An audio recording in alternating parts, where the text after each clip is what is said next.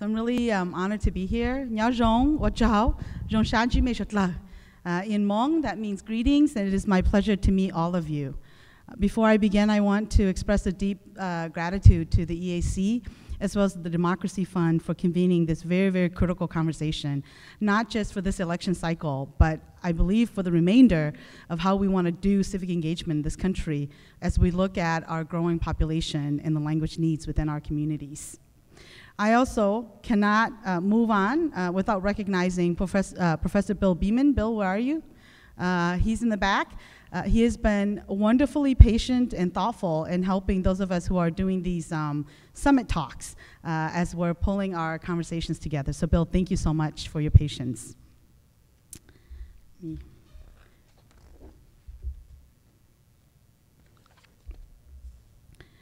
Um, as I said, it is truly a privilege to be standing before you today and to share with you my stories and memories uh, that are deeply embedded in my family's past. These memories and experiences are a touchstone for me. Um, they're an ongoing reminder of the ideals that motivate me in my work. Uh, many of the other speakers today and the panelists today have or will be discussing with you what we do and how we do it when it comes to language access. But what I want to focus on is something else, uh, something even more essential. I want to focus on the why.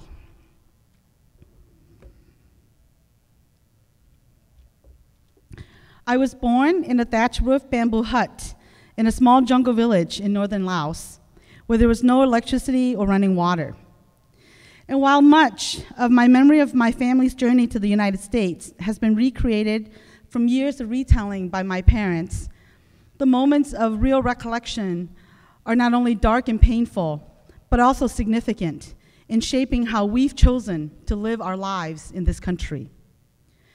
And while I don't recall much of the details, I do remember walking for days and days by foot, arriving in the middle of the night at a riverbank that has now come to symbolize the border between two equally difficult choices stay and live with the fear of death and persecution, or cross the river to a shaky future fraught with danger and fear of the unknown.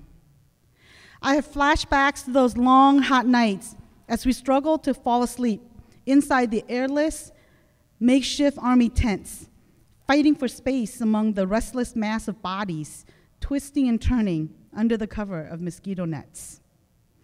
I'm sure some of them were trying to find relief from the sticky humidity of the night, but others were seeking refuge, however briefly, from the nightmares that haunt them even in their sleep. I remember that my mom was pregnant at the time and then gave birth to my sister in the temporary refugee compound that was provided by the Thai military with the assistance and supervision of the United Nations. I still see the image of my mother wrapping my baby sister in a single surgical scrub shirt that my father had brought back from the refugee health center where he worked as a nursing assistant. As you can see from this photo, that is my mom holding my baby sister, and that is my dad in his nursing shirt. Notice the red cross. And of course, that's me, the girl standing there, with my brother. Before our escape, my father was a USAID trained medic during the secret war in Laos, the covert CIA operation that was established to stop the flow of weapons and soldiers from North Vietnam into the South. At the refugee camp, I remember standing in line for every meal and recall that the food didn't taste like anything I had ever seen or eaten before. But I ate it anyways because I didn't know when the next meal was going to come or what it was going to look like. I also remember how good it was to finally eat a bowl of white rice in water while licking a small cube of sugar. I was seven years old at the time. And I remember how tough it was during those early days of our refugee resettlement experiences, especially for those of us who were part of the largest wave of Southeast Asians who came to this country in the late 1970s and 80s. I remember being called a chink and gook and enduring showers of spit and trash as we walked to school. You know, coming to the United States as a political refugee, growing up Hmong American in the Midwest, and now working as a national advocate for social justice and civil rights in our nation's capital. Sometimes I feel as if I have literally traveled through a warp of space and time, a mind boggling journey from the refugee camp to even meeting with the President of the United States. And yet, at the same time, I find myself in awe of the destiny that I am so fortunate to manifest. I'm in awe that we thrived despite the overt racism and bigotry that we encountered. And I believe that we thrived because, compared to so many of our relatives who perished along our flight to freedom, we survived and were given a chance to live. In the deepest parts of our soul, we always knew that we owe it to all of those who didn't or couldn't make it to take full advantage of every opportunity that came our way in this great country. I always knew these truths because my parents taught us how important it was for us to be full citizens of this nation. These lessons began with a reality check that eventually led to my sister and me being elected to public office. So let me share with you this reality check story. On a bright, sunny summer day, as my mother and I sat by our big bay window to make traditional Hmong embroidery, three young men came riding by on their bicycles. As they drew near a window, one of them threw a handful of eggs at the window.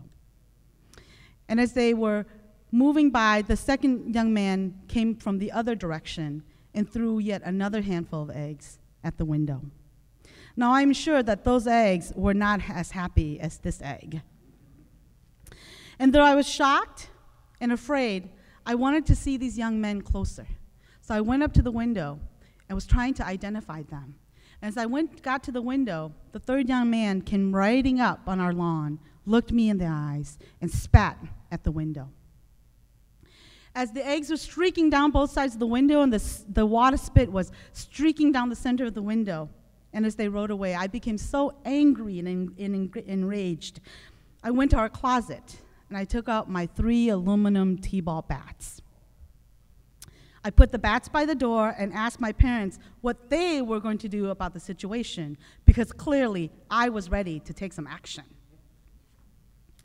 Now, while my father told me to just ignore these individuals, my mother said some things that provided a direction for my life and gave me a greater reason to make something of myself. My mother said, These people don't know who we are where we came from, or even what kind of people we are. All they see is the color of our skin and the fact that we are different from them. She said, in life and in the reality of living the rest of our lives in America, no matter how American we become, we will never be able to change the shape of our eyes, the texture of our hair, and the color of our skin.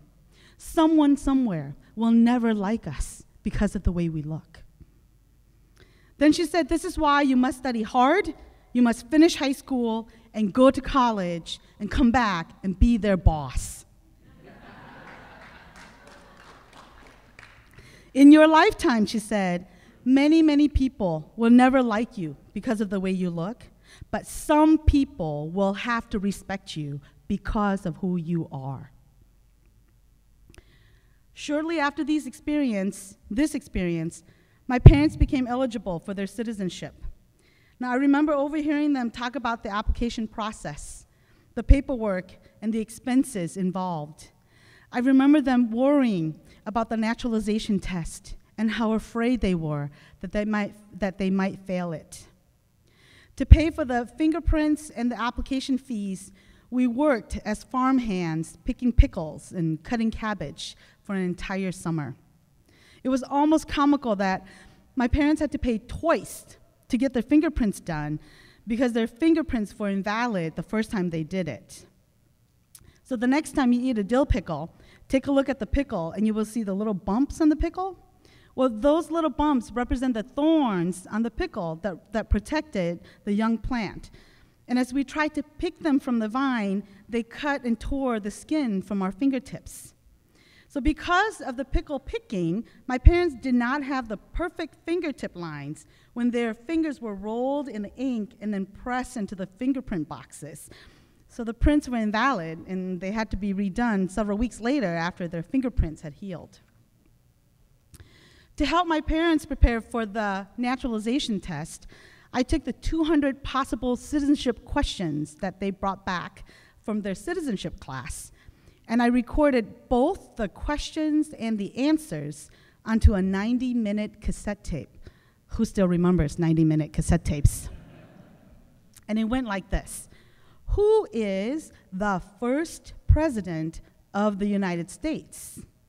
Pause. George Washington. They would play this tape over and over and over, mimicking the questions, pausing the tape, giving the answers, then hitting the play button to see if they got the correct answer. The funny thing is, my dad used to play the tape in the car while we were, were going on road trips. And he would make the whole family repeat the questions and the answers together. So by the time my parents passed their citizenship exam, I felt like I knew more about US government than all of my American classmates ever did. Fast forward three years later, as a high school student, I was the first in my family to be able to read, write, and speak English.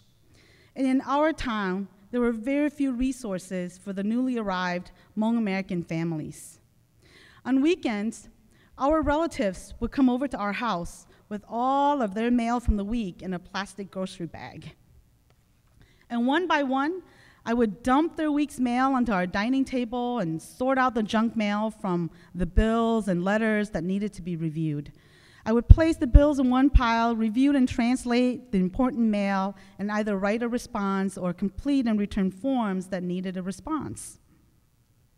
During these sessions, there would be lively discussions in my parents' living room, sometimes about the difficulties of finding a job, dealing with a racist landlord, or embarrassing encounters at the doctor's offices.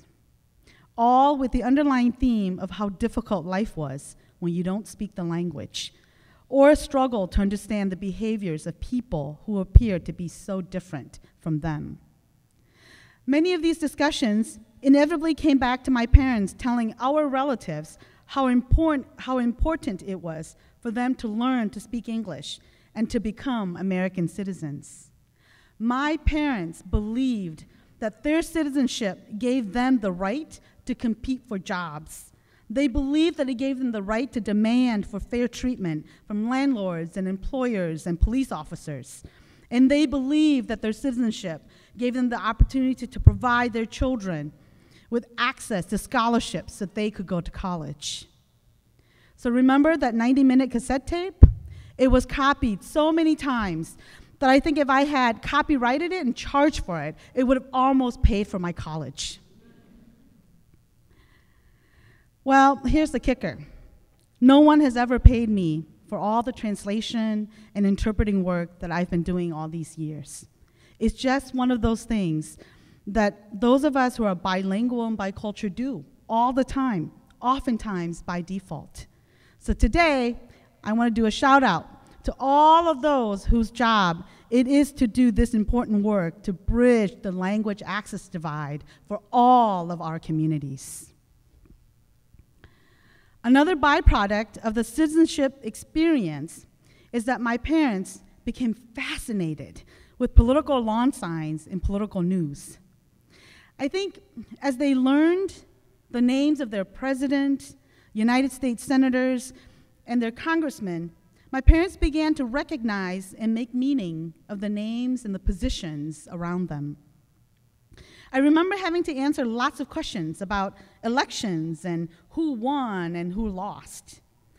And unlike most high school students who couldn't care less about politics, I felt like I had to pay attention to the news because my parents would ask questions and I needed to be able to provide them with the answers. At the time, you know, I didn't think very much of these experiences. But today, as I reflect back, I realize that these moments were not only foundational, but they inculcated a culture of political and civic engagement for our extended family and our community that continues even today. The trauma of war, death, and destruction, the homes they abandoned in Asia, and the families they had left behind did not dampen their spirit and willingness to forge ahead to create and establish a new identity, a new community against overwhelming odds as refugees, immigrants, and new Americans.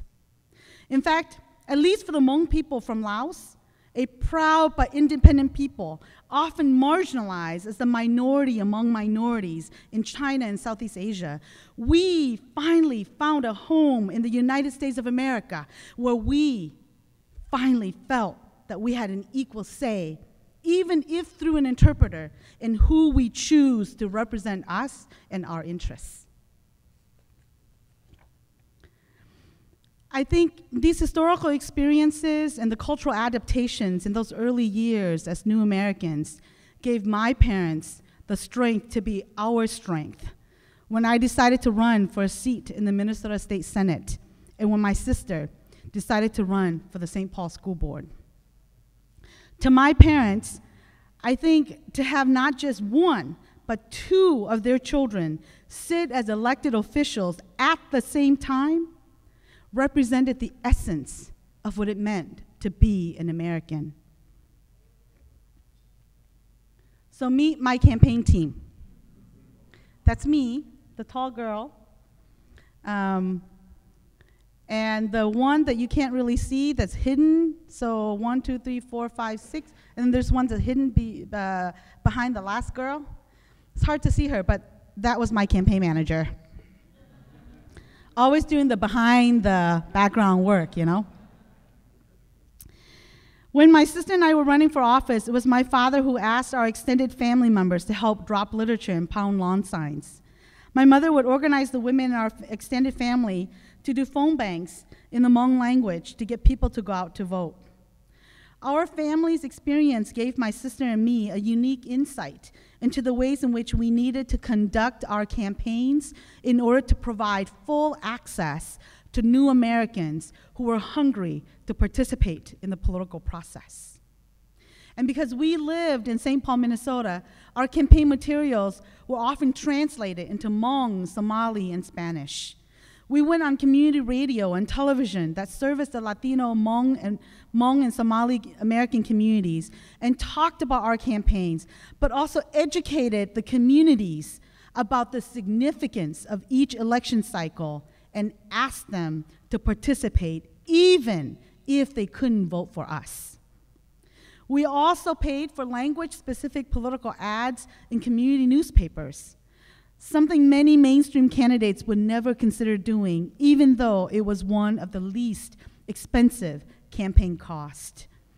For example, a full page ad in a Hmong newspaper with a circulation of over 25,000 would only cost $600.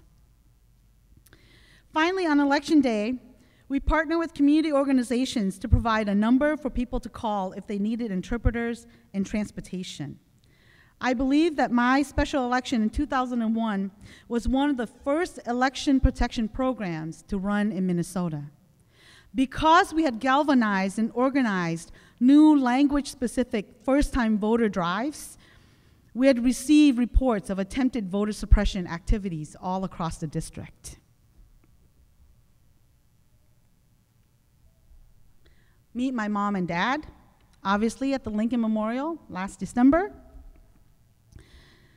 So today, I reflect back on my family's journey from the mountains of war torn Laos to a refugee camp in Thailand, to the halls of the Minnesota State Senate, and now to the steps of our nation's capital. And I realize that it is an improbable story that can happen only in America. Only in America can a refugee family from the mountains of Laos get their children elected to public offices without witnessing the loss of a single life or the spilling of a single drop of blood. Only in Abraham Lincoln's government of, by, and for the people can anybody, whether refugees, immigrants, Native Americans, or descendants of the pilgrims, who works hard and seeks the opportunity, can become an elected leader of their communities. In fact, after seeing a news clip of the Obamas voting in their hometown of Chicago, my mom reflected that the vote equalizes all citizens in this country. Because even the President of the United States has to go to the polling booth to vote, well, hopefully, for himself, and that his one vote is no more powerful, no more powerful than the single vote of a new American. On the night that I got elected, I was so struck with emotions that I couldn't deliver my victory speech. And while most people told me to stop crying and to start acting like a leader, my grandmother slowly walked up to me and put her hand on my head, as only the elders are allowed to do, and spoke softly in my ears. She told me to take as much time as I needed to gather myself. And then she said, When you are ready, you go up to that microphone and you speak. And today and every day from this day forward, when you speak, you speak loudly and clearly, especially when you feel that ball of tears gathering in your throat. For those tears represent the hundreds and thousands of souls who have never been heard. Today, your voice is no longer yours. Whenever you get to speak, you are giving voice to those who have never been heard. Well, today, I stand before you representing the voices of great Americans like my parents who love this country, who are grateful for the opportunities it provides to their families, and who are hungry, hungry for engagement in the great process of this democratic experiment, who are hungry not only for social, economic, and political relevance, but hungry for power and equity in this great country as equal Americans. So, as we all leave this summit, as you all leave the summit and go back to your day jobs, as you engage in decisions to allocate resources or make public policies that affect how our communities access their franchise, heed my grandmother's words. Know that you are the voice for the voiceless, and that your work will give voice to those who are longing to be heard. Thank you.